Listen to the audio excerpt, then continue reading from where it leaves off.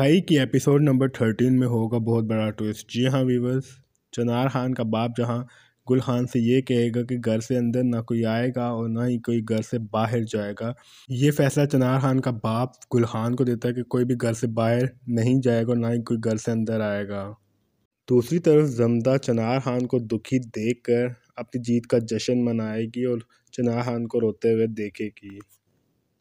अपाना को भी रोते हुए दिखाया जाएगा, जहाँ पे बरलास खान उसे आके चुप कराएगा और कहेगा कि जो अल्लाह को मंजूर था वही होता है।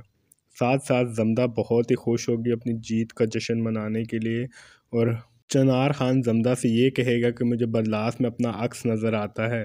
साथ ही साथ जमदा उसको देखेगी और मन ही मन में खुशियाँ मनाएगी।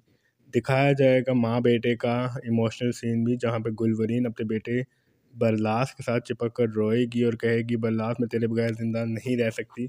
बरलास भी साथ साथ इमोशनल होते हुए ये कहेगा कि मैंने पामीर को कत्ल करके अपनी प्यास बुझाई। अब चाचा जी को मेरा कत्ल करके उनकी प्यास बुझाने दो।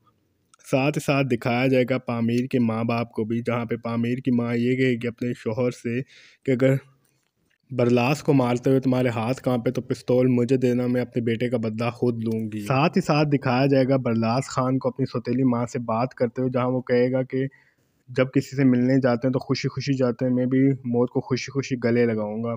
साथ ही साथ बादशाह खान को भी दिखाया जाएगा पिस्तौल उठाते हुए। क्या दमदा की प्लानिंग काम करेगी? क्या बादशाह खान बरलास को मार देगा? ये तो कल के एपिसोड में ही पता चलेगा। बने रहिए जे एम चैनल के साथ।